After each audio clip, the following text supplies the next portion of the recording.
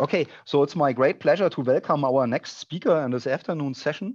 It's uh, Vincent Cros, and uh, he works in a mixed unit between uh, CNRS, uh, which is uh, focused on basic research in France, but also connected to Thales, yeah, the big company in, in France. And he's an expert in spintronics, and lately he also focused on skyrmionics, not lately actually he does it already for quite quite some time and he always has an eye on applications and uh, we are very much looking for your uh, latest results you would like to share with us here about skyrmions which are ultra small ultra small uh, and which exist in ferromagnetic layer but also in uh, synthetic multi-layers or anti-ferromagnetic multi-layers. So Vincent, it's, uh, uh, it's exactly 40. We are very much happy to have you here. Please go ahead. Okay, Thank you very much, Tobias, for the kind uh, introduction. And I would like to start also to thank the organizer, uh, Sergio Valenzuela and Thanasis Moulas for, for the invitation to this very interesting uh, uh conference on topological matter. And I would like to use this opportunity today to talk about uh, topology in real space in magnetic systems, and more specifically uh, to talk about magnetic uh, uh, Uh, uh, stabilized and, and observed in ferromagnetic or synthetic antiferromagnetic uh, multilayer. So uh, does it work this yeah sorry. So as you see here uh, uh, this is a work that has been done uh, in collaboration between many many groups because i will try to show a collection of recent results. But some results in our CNRS Thales laboratory in Palaiseau in France. In uh, particular, I would like to acknowledge the work from uh, postdoc Fernando Ajejas uh, or PhD student Yanis Sassi and, and, William Legrand. But as I said, uh, a lot of results in collaboration with uh, synchrotron uh, experiments, beamline in Soleil from Nicolas Jaouen, sextant beamline, or in the ALBA synchrotron in, in Barcelona in Spain, and also some uh, collaboration with uh, uh, Joo-Von Kim and Thibaut Devolder for micromagnetic simulation, and with the group of Vincent Jacques for NV microscopy, imaging of skyrmions using NV microscopy in laboratoire Charles Coulomb in Montpellier. So in general, I like to start uh, uh, this kind of presentation about magnetic skyrmions by giving a, a, a rapid definition of uh, what uh, is a skyrmion, so what we uh, call a skyrmion. So skyrmion is uh, this type of magnetic structure or texture, you see, with whirling of, of, the spins. And a very interesting property of, the, of this skyrmion is that they are topologically different from the ferromagnetic uniform state. Eh? And you can uh, let's say, uh, uh, determine or estimate this non-trivial topology by calculating this uh, quantity here, that is the winding number, that is nothing else than the measure of all the um, wrapping, the measure of the wrapping of all the spins contained in the skyrmions onto a sphere. And this quantity, if you have a skyrmion, is quantized and is plus or minus one compared to zero for the ferromagnetic state. So, and this non-trivial topological charge uh, uh, is at the origin of the most of the uh, main important interesting properties of the skyrmions. For example, their their robustness against ex external per perturbation, uh, and it can be also, for example, thermal uh, thermal perturbation, but also, and we heard about uh, this already in the previous talk of this session, that you can have like emergent electromagnetic properties, emergent magnetic field, emergent electric field, that are very uh, interesting fundamental properties of the skyrmions. Another uh, uh, interesting property from our point of view is that they have a cylindrical symmetry. And today I will talk uh, a lot about, uh, let's say, tubular skyrmions like this. And the fact that they have this cylindrical symmetry is very helpful for us to make some modeling of the radius, of the shape, of the stability of the skyrmions and even on their mobility. Uh, for the skyrmions I will talk about that are stabilized in, in, in magnetic multilayer, grown in general by uh, sputtering deposition. The main mechanism is, is a Dzyaloshinskii-Moriya uh, interaction, the chiral interaction, but maybe after the talk of, uh, of Kirsten just before, I should have added or update a bit this and, and add that uh, in many cases you have this higher order uh, interaction that plays an important role. And at last but not least, the skyrmions, they are solitons, so topological solitons. It means that they have a finite radius and can be extremely small, but also it means that we can uh, uh, we can uh, uh let's say um, see the the skyrmions are, are, as a, a 1D particle in a 2D media, and then we can use this property to move them. I mean, the, the, this feature uh, by moving skyrmions, by making them interacting, by counting them. And this brings a lot of uh, different functionality or potential functionality for the skyrmions. So based on this, uh, let's say, uh, interesting property, fundamental properties of the skyrmions, uh, as said by, by Tobias, we, we thought a few years ago, almost eight years ago, that maybe we can use or what can use these uh, magnetic skyrmions as a bit of information in some devices. And we propose this uh, shift register memory uh, based on the uh, motion of the skyrmions in a track. It was only micromagnetic simulations, but there have been a really a, a huge research effort in engineering and material properties. And a few years after, we were able, but not only us, many groups at the same time in 2016, to observe uh, skyrmions, very small skyrmions, it were uh, sub 100 nanometer skyrmions in a track uh, at room temperature. So there have been a, a great jump in the, uh, in the control of the property to stabilize these skyrmions. And today, uh, uh, only after a couple of years, it's not possible to make the complete overview of the different systems in which the skyrmions have been observed. There is see here a collection of uh, uh, different systems with different sizes, different shapes. And if you are interested, you, there are very interesting, very nice review papers in, uh, that you can read in order to, to see the, the different system in which they can be stabilized. As I said, the, uh, the, the they can be uh, used in a conceptual, uh, let's say, new generation of magnetic memories, like this shift register or racetrack memories. And there have been a lot of progress in the last couple of years in terms of uh, uh, uh, uh nucleation of skyrmions, motion of skyrmions, even electrical detection of skyrmions. But there have been other type of, let's say, devices or conceptual devices that have been proposed and uh, let's say, uh, demonstrated at the lab scale for, for the moment. But for example, there is this uh, probabilistic or neuromorphic computing devices um, that has been developed. This is a kind of a skyrmion uh, chamber where this property, the, the, the, fact that they are solitons is at the origin of these devices. So you can inject the skyrmion in this a kind of a chamber and you, they, they, they, they, move by Brownian motion and then you can count and replicate a, a, a stochastic signal and it makes a very interesting uh, uh, devices. But let me, uh, sorry, my computer is stuck. Hello? I can hear you, yeah? so okay, okay. Fine, huh? Yeah, yeah, okay. Um, so let me go now to uh, to some experimental results. Uh, as I said, that uh, we we are working with uh, uh, multi-layers, so thin films or multi-layers grown by a sputtering deposition, and we have been uh, trying to optimize the properties, magnetic properties, of different magnetic interaction at play in this multi-layer. And for example, I will show you that in this system here, this platinum, cobalt, iron, boron, ruthenium, multi-repetition, 20 repetition in this case, we get uh, a very uh, fine control of the property in order to, to be able to study extremely small, small skyrmions. So this is a top view of the uh, magnetic uh, configuration that is observed by magnetic force microscopy at room temperature and zero field. So after uh, demagnetization, we have this uh, labyrinthic uh, let's say, domain configuration. But as soon as we apply a perpendicular magnetic field, then there is uh, the appearance of uh, some skyrmions and then uh, a very large density of skyrmions uh, close to be a skyrmion lattice for a field of about a, few tenth, tenths of milliteslas.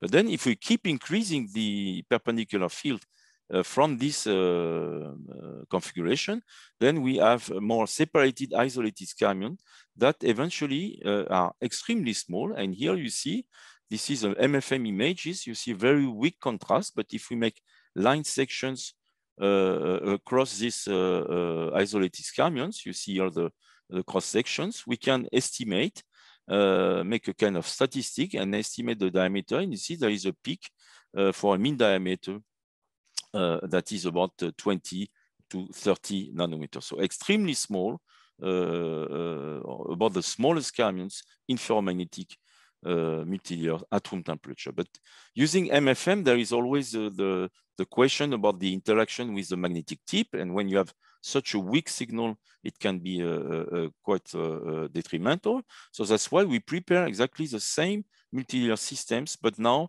to make some X-ray magnetic holography experiments on the sextant beam line at the Soleil synchrotron. And you see here an hologram obtained at uh, uh, in the, with a magnetic field in the range where we have this uh, large density of skyrmions and keeping uh, keep increasing the magnetic field, we can then reach this uh, uh, regime with extremely small skyrmion and now making a very large statistic. And you see that again, we have a, a, peak for diameters that are about 20 to 30 nanometer what I showed just before is a, a ferromagnetic multilayer, and, and, and in general, we need to, to, apply a perpendicular fit, which for the potential application could be a, a disadvantage, and that's why we have developed. Uh, uh, this has been the postdoc of uh, uh, uh Fernando Ajejas, the inclusion of what we call a bias magnetic layer that is composed of a multi-layer of a symmetric platinum cobalt platinum multi-layer that uh, uh, generate by electrical uh, electronic coupling, sorry, a kind of RKKY-like coupling uh, through the, the, the, the platinum, uh, uh, an effective field acting on the magnetic layer and generating the stabilization of skyrmions at room temperature. And this is an MFM image obtained on this uh, multi ferromagnetic multilayer after saturation of the uh, magnetization in the bias layer. And you see that we have skyrmions stabilized at zero field with, in this case, a mean diameter about 80 to 100 uh, nanometer. So the next experiment I would like to, to share today are the, the series of measurements that we have done using uh, synchrotron uh, experiments. This is the X, X-ray resonant magnetic scattering experiments, where we use the X-ray and shine the X-ray on the, on the samples. In this case, we use magnetic configuration that is uh, obtained after in-plane demagnetization. This is a kind of a stripe domain phase. Uh, but if you apply a perpendicular field, you can convert this uh, stripe domain phase into skyrmion phase, but I will stick to this stripe domain phase. And then we collect uh, uh the uh, reflection and diffraction. In fact, the, the reflection is um, hidden by a, a, a, beam stop, and we collect the diffraction peak. And you see here uh, on the CCD camera, the diffraction peaks, and in fact, the distance between these two peaks uh, is direct, uh, directly connected to the periodicity of the uh, of the magnetic configuration. This is interesting, but what is even more interesting is that you can now use the fact that the, the X-ray can be uh, circularly polarized, and then if you make the difference of the diffraction for the two polarization, then you get a strong dichroic uh, signal. And this signal, this dichroic signal, gives direct and very rapid and very simple information about the chirality uh, in this uh, magnetic configuration. And for example, we made these experiments on the five repetition.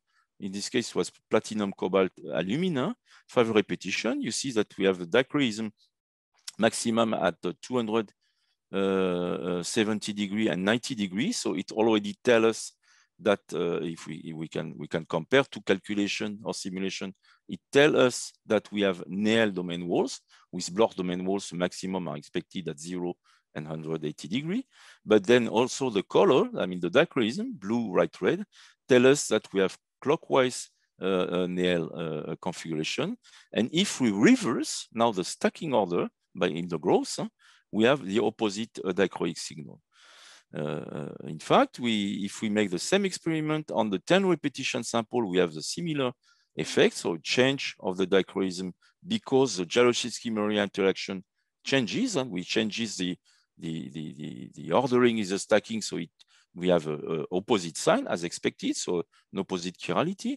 But very surprisingly, we found that in the 20 repetition sample that uh, for in both cases, we have this uh, blue, white, red, uh, contrast means that we have no inversion of the uh, of the dichroism. So what happens?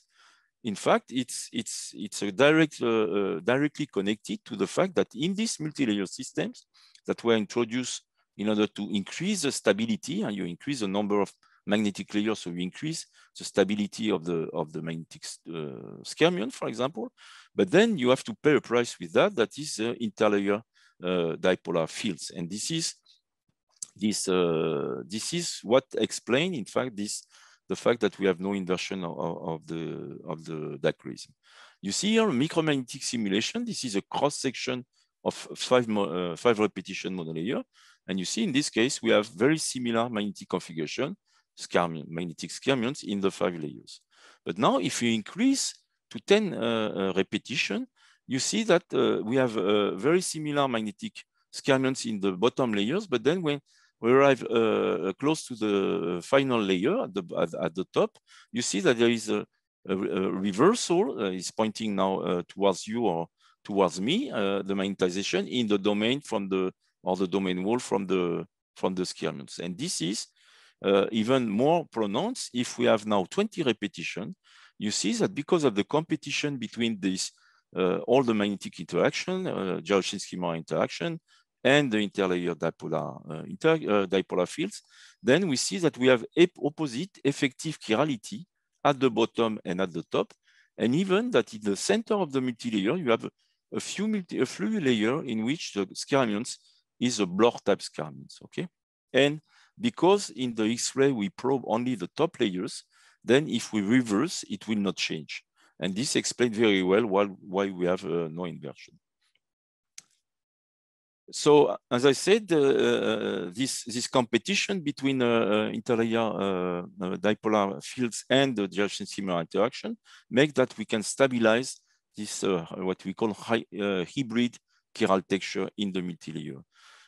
going a bit further in the experiment, we use uh, XRMS studies, but now applying an in-plane field in order to better characterize the, the let's say the, the texture in the Z direction uh, of the multilayer. And this is uh, some experiment in, in, in, which we see that the diffraction, you, you have a very clear signal at the first order peak, what I, I, discussed before, also a tiny signal at the third, but almost nothing, and this is as expected, at the second order peak. But as soon as we apply an in-plane field, so then we act a little bit on the, on the internal uh, structure, internal magnetization of the domain walls, then there is a strong signal at the second order peak that is appearing.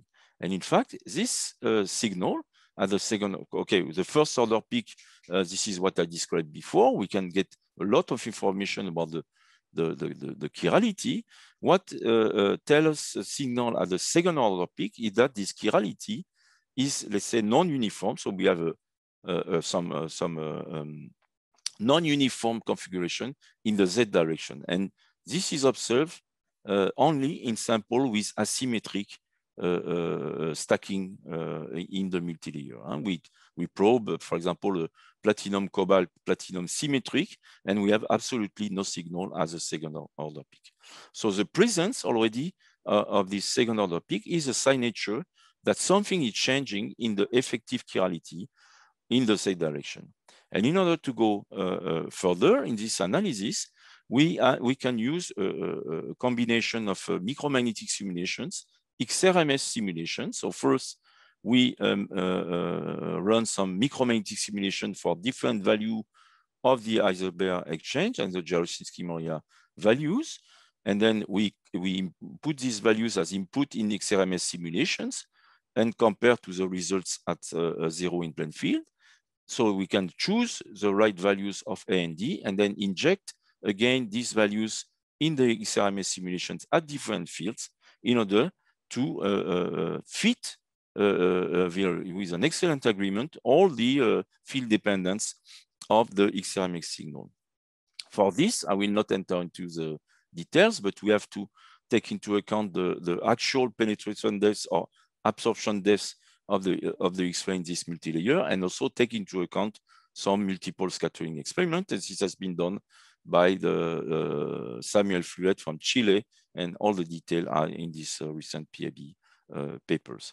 The very nice thing is that uh, using all this uh, combination of experiments and micromagnetic simulation, we can make a three-dimensional reconstruction of the magnetization profile and in, in, in our case here, for example, get uh, information about the position and the width and even the stability of the Bloch part of the uh, domain wall. So we can see this uh, approach as the uh, original technique in order to get a three-dimensional reconstruction of a, a, a non-uniform uh, magnetic texture in the uh, magnetic volume of these multilayers.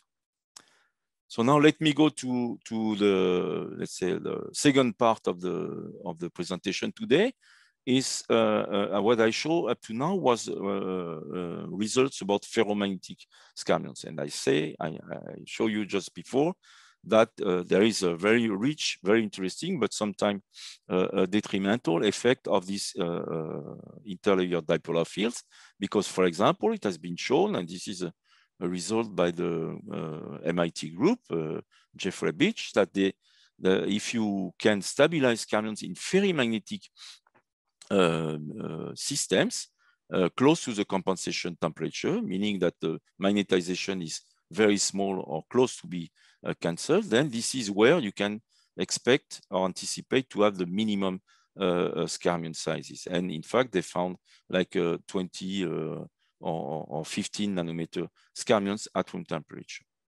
Also, it was mentioned in, in some presentation this morning that the fact that they have a non-trivial uh, topological charge makes that you have this uh, transverse uh, deflection of the skyrmions when you apply a force on this on these skyrmions. It's called the skyrmion Hall effect. And this is interesting uh, from the fundamental point of view, but from the um, application point of view, it's maybe less interesting because it means that very rapidly, the skyrmions, they will uh, go to the edge of your devices and, and potentially be uh, annihilated. So a way to avoid this uh, Skyrmion Hall effect is to use or to uh, rely on skyrmions in antiferromagnetic systems. And this is what we, for both these reasons, this is what we get interested in stabilizing skyrmions in synthetic antiferromagnets. And for that, we use uh, what we call this uh, platform of uh, platinum, cobalt, ruthenium systems. Again, this is grown by Uh, sputtering deposition. And we can uh, uh, uh precisely uh, measure and control the Dzyaloshinskii interaction. We can measure it by, for example, periodicity, domain wall periodicity, or by Brillouin scattering, and we find a DS value that is close to 1.1 picojoule per meter, so relatively large.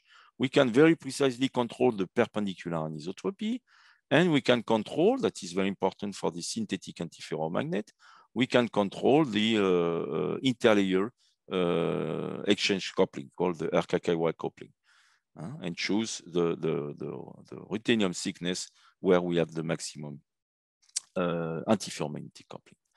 And what can we expect from in these systems? I mean, they, these, these uh, synthetic, antifer synthetic antiferromagnets are known for uh, many, now many decades in, in spintronics. When you have large perpendicular anisotropy, you have, this is a side view, this is a top view. You have two uniform configuration, uniform magnetization, but opposite with opposite uh, orientation. So anti-parallel coupling between the, the two layers. And this gives rise to this uh, uh, hysteresis loop with a plateau close to uh, zero field. But now in this uh, uh, SAF synthetic antiferromagnet with uh, a non-zero Dzyaloshinskii-Moriya interaction, what happens when you go to low or let's say compensated effective anisotropy is that you completely um, cancel the long range uh, uh, uh, dipolar interaction and make that the, the, the configuration that is stable is now a spin spiral state. Okay. The, we are interested in spin spiral, but not only, we are interested in also synthetic anti, uh, skyrmions and now we, what we do, we introduce, as I mentioned the, in the first part of the presentation, this uh, bias layer here, this platinum cobalt platinum bias layer that generate an effective magnetic field acting on the uh, uh, magnetization of the, of the bottom layer. And this makes that it can turn this spin spiral into uh, uh, the stabilization of antiferromagnetic uh, skyrmions. So as I said, we can use this property of the skyrmion uh, that they, they, have a cylindrical symmetry uh, uh, uh in a mod in order to model uh, to make a model for the the, the radius of the skyrmions, but also the stability of the skyrmions as a function of Dzyaloshinskii-Moriya interaction and this, uh, uh, let's say, effective bias magnetic field. And you see that we can reach extremely small skyrmions. I take into account, of course, the RKKY here. Uh, we can reach extremely small skyrmions and that are uh, uh, stable as root temperature, meaning that we have a, a, a KBT that is close to 50 uh, in order to have this room temperature stability. And this is a range of uh, parameter in the Dzyaloshinskii-Moriya interaction that we can reach experimentally. So that's what we have done. We have prepared uh, these samples and characterized a series of samples to get the value of this uh, transition between uh, perpendicular and uh, in-plane anisotropy. We have characterized the uh, RKKY coupling and find that we have a maximum of antiferromagnetic coupling for about 0.75 nanometer of ruthenium. We can also, we have characterized this exponential decrease of this RKKY coupling as a function of the thickness of this intermediate uh, platinum layer that is needed to have this uh, Dzyaloshinskii-Moriya interaction. And we have characterized the uh, bias field that we can obtain from this uh, bias layer. And make, putting all these ingredients together, we prepare some samples. So this is first a, a magnetic uh, characterization and imaging by um, magnetic force microscopy. But here we use magnetic force microscopy under vacuum because again, in the SAF, we have a very, uh, I mean, the magnetization is, is canceled or almost canceled. So the, the stray field, and that is, or the divergence of the, of the stray field, that is uh, what gives the signal in MFM, is very, very small. But here you see that thanks to this uh, high Q uh, uh, vacuum MFM, we can image this magnetic spin spiral, and we can deduce by making line section the periodicity of this spin spiral. Uh, we in, in, Montpellier, in the group of Vincent Jacques, they have uh, characterized exactly the same sample, but using the scanning and NV microscopy, where there is uh, again no interaction uh, magnetic interaction with the tip. Huh?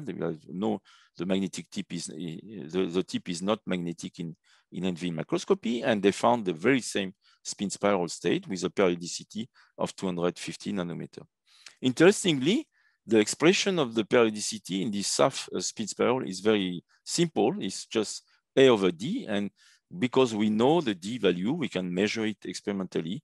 We can uh, uh, deduce the A that is not an easy parameter, very important parameter, but not an easy one in to characterize experimentally. And we find about 17 picojoule per, per meter.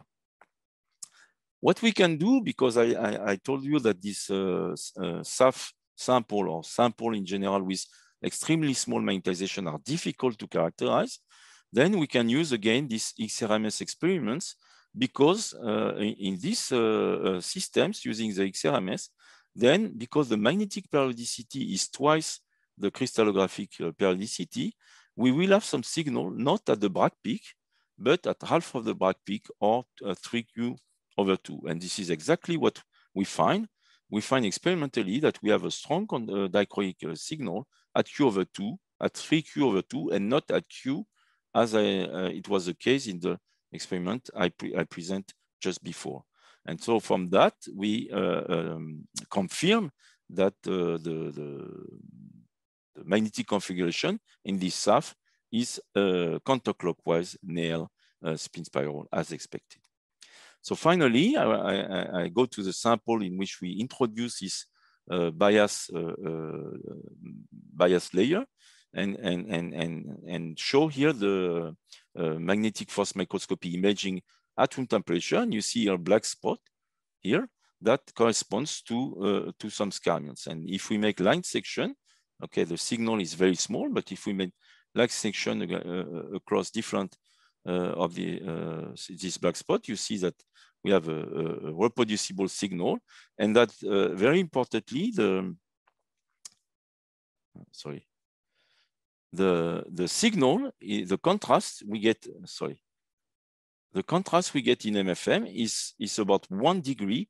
That is uh, about one order of magnitude less than what we obtain for a ferromagnetic scanning. So already just the amplitude of the MFM signal tell us that this uh, arise for uh, almost compensated uh, magnetic structure. The, the, the, diameter that we obtain is 40 to, to 60 nanometer, uh, which corresponds, in fact, after taking into account the interaction uh, with the tip to uh, smaller skyrmions that in the prediction we can, we know they are about 20 to 30 nanometer.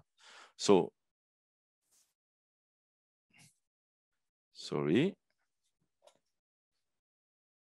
Can you hear me? Yes, everything fine. Uh, huh? Yeah, but apparently I cannot change anymore the slides, sorry. Take your time, yeah? Yeah, yeah. So also a comment to the audience. So uh, if you have questions, please post, uh, write them in the chat, uh, and then we can discuss them after the talk. I see. I think my PowerPoint is stuck. Sorry about that. I was about uh, at the end, but I think I have to restart. Sorry. Huh? No problem. So as long as you don't have to reboot your computer, it's fine.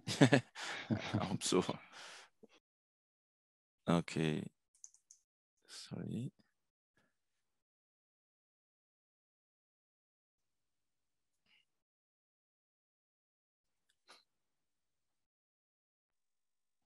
So Vincent, you have five minutes left. So uh, yeah, yeah, but I, I, I probably was no reason close, to rush. Uh, I, I was close to the end. No problem. No, no, no problem. So there's no reason to rush. I just want okay. to tell you you have five minutes left. Okay. So I will go straight to the yeah, here. Okay, let me share again.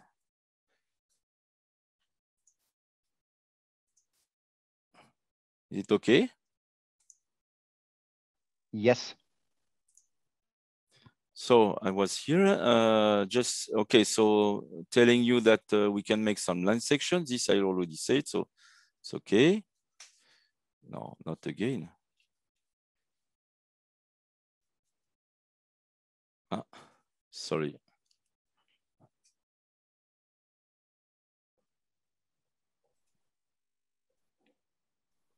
So maybe you start and uh, reboot and go to slide 30 immediately, maybe. Yeah.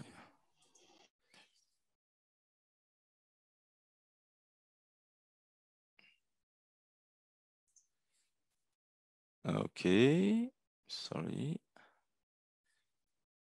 Do you see the screen now? Yes, fine, huh? Okay.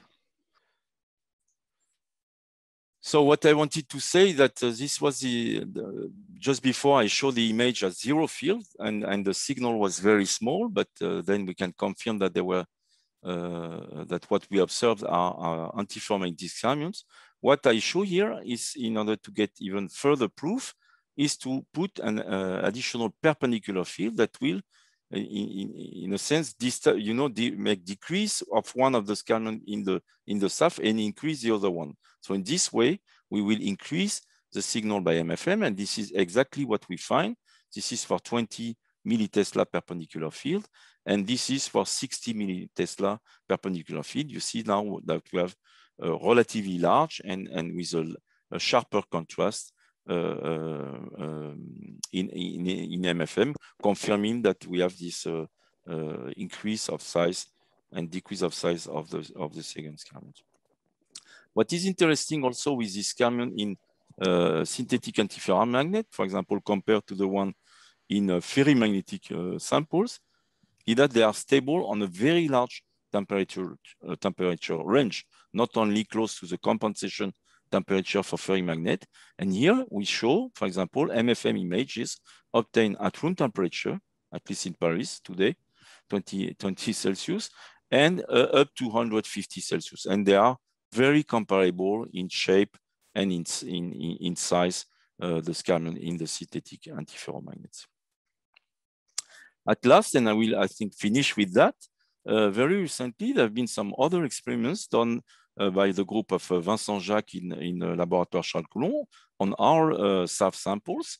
And they use their, their technique of scanning NV magnetometry to characterize this uh, in synthetic antiferromagnet. So you, what you see here is an image, but this is an image obtained in what's in the so-called quenching regime. So here there is no uh, radio frequency applied at 200 at, at 2.8 uh, uh, gigahertz in order to uh, uh, make the quantitative measurements of the of the field by the NV magnetometry. And so using this so-called quenching mode, we can characterize again the, the, the size or the shape of the skyrmions. And they found about, uh, uh, in average, uh, seven, seven, 76 sorry, nanometer, but this is this apparent diameter is mainly related or limited by the flying distance of the NV uh, center in the tip that is about 70 uh, nanometer in this case. But more interestingly is also that the origin of the signal in this, in, in this case. And in fact, the signal here is related to the so-called the, the spin relaxometry mode of the NV. It's because what is detected at the end here is the magnetic noise uh, that is generated by the magnetic texture, in this case, the synthetic antiferromagnetic uh, skyrmions. And this noise, they have some uh, uh component uh, in the frequency domain at the frequency of the ESR frequency of the NV center.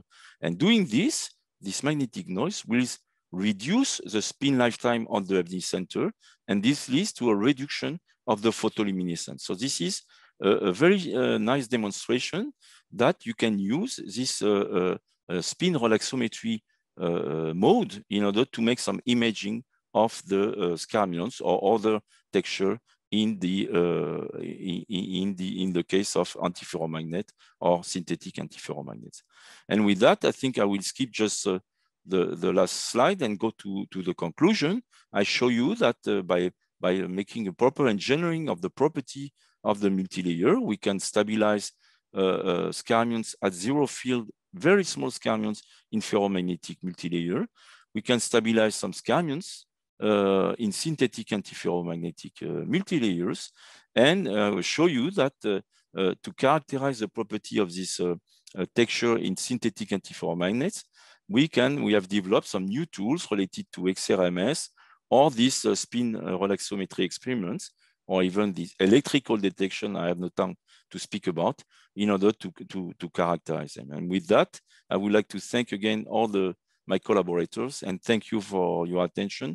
And I apologize for this uh, technical problem that I had during the presentation. Thank you. Thank you very much, uh, uh, Vincent, for sharing these exciting results.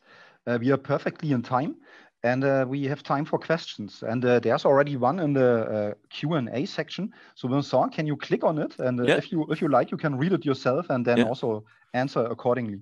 So it's a question from Ramesh Tamanka. Is if you can make a wedge sample where the magnetization varies from in plane uh, to out of plane direction, how do the skyrmions uh, be changing? Um, in fact, um, uh, there, there, have been several groups are, are working with wedge samples. Uh, unfortunately, we don't have this opportunity. Uh, and this is why we make this uh, series of sample with a constant thickness, but very small steps in, in thicknesses in order to control the property. But, but uh, what I showed uh, uh, before, if you have this wedge, then you will see that uh, on one part of the sample where you have this large anisotropy, you will have uniform magnetization, and then you will go through a smoothly go, go through this range of thicknesses where you have this reorientation and where you can have uh, either isolated skyrmions or large density of skyrmions before you go to in-plane direction. Thank you. So uh, if there are more questions, please just raise your hand or type them in the chat. So for the time being, so Vincent, I also have a question. Yeah. So at the end, you mentioned this uh, spin noise. Can you yeah. a little bit uh, further elaborate on this? Where, where does it come from? Is it thermal noise? And uh, and how does it stabilize the structure? How, how is this possible? Okay, see here it's the it's, it's more the, the, the, the, it's a kind of detection of the modes associated with the uh, with the uh, with the texture. Here we consider uh, uh magnetic skyrmions, but then before I show in the spin spiral state, in fact, it was also an image without any uh, radio frequency. So in the same spin relaxometry modes. And these are micromagnetic simulation calculated by uh, Joo-Von Kim from, from C2N that you see that the, the, the, the, the, the, frequency dispersion of the noise that can be expected either on the synthetic antiferromagnetic domain, and even if the, the frequency, the minimum frequency is above the frequency of the, of the NV center, then because you have a tail in this, in this noise uh, um, power spectral density, then it reduces, it leads to a reduction of the T1 of the of the spin lifetime in the in the NV center. And if you reduce the T1, it means that the you know the the the the, the um, uh, spin lifetime between the S equals zero and S equal plus or minus one, meaning the dark state and the bright state. If you if you have a, a, a short T1 compared to the to the the time that uh, uh, of stability that you when you opti optically pump your your NV center, it leads to a reduction of the of the photoluminescence. Okay, so this is what you have on a domain. So already on the domain, you have a reduction of the T1 at a given pump, uh, optical pumps. But if you consider on the on the domain wall, then you see that uh, you have a gapless mode, and this gapless mode is crossing this frequency. So you really detect uh, uh, this component of the noise related to this uh, mode in the, in the domain wall at the frequency of the ESR. And then you have a filtering in the in K, but that is just related to, to the distance between, basically you are, you are sensitive to the K uh, values that corresponds to the inverse of the distance between the NV center and the mode. But this is interesting for a new way of imaging using NV but also, in my opinion, uh, opens some opportunity to characterize the dynamics, okay, the, the, the, the modes of, of the different textures. Thank you, uh, Vincent. So Thank there's you. another question in the um, in the Q and A section. Yeah. To deduce the actual radius of skyrmions from MFM image, what factors we should keep in mind? uh, I mean, this is all, this is always a relatively tricky part. And to have a rough estimation, it, it's it's okay. I mean, we we we carefully, for example, uh, uh probe the configuration with uh, uh, different tip, and we pay attention not to have a, a too strong interaction between the tip and the magnetic co configuration. But but and so we prepare, for example, tips with extremely small uh, uh, magnetization. But uh, to deduce the exact value of the radius by MFM is always a, tricky and non, non, not easy task. This is why, for example, it's important to combine with non-perturbative uh, experiments like uh, NV uh, magnetometry, and at the end we find that that both are giving comparable values. Thank you. Okay, thank you very much, Vincent. So I think we have at the moment answered uh, all the questions and uh, we have also reached uh, 20 minutes past three. So this Perfect. means we go into the coffee break yeah, with, uh, with possibilities to discuss. And uh, there are now uh, links in the chat. So Lorenzo provides links in the chat. Please click on these chats if you want to further discuss with Kirsten or with Vincent. Yeah. Uh, so for the time being, let uh, let's just thank the speakers again, uh, Kirsten and Vincent, and then we reconvene again uh, in approximately 20 minutes, so 1540. Thank you very much. Bye-bye. Bye. -bye. Bye.